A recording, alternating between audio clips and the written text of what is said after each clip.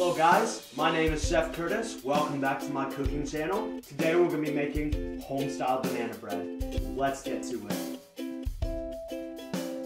For this recipe, you're going to need 2 cups of flour, a half a cup of sugar, a half a cup of brown sugar, 3 4th teaspoon of baking soda, a half a teaspoon of salt, and pour it all into this bowl. Now stir it up really good. Now we're gonna need four ripe bananas, one melted stick of butter, two eggs, and one teaspoon of vanilla extract, and put it all in a separate bowl.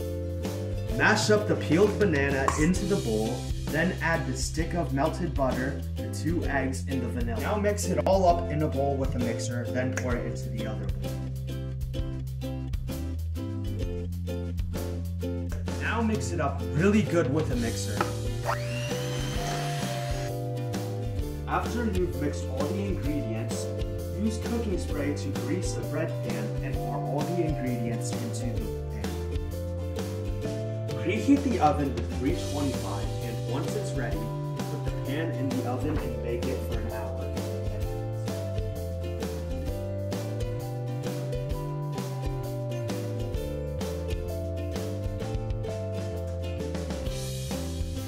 There you have it fresh, homemade, home-style banana bread. Thank you guys so much for watching. Please make sure to like and subscribe.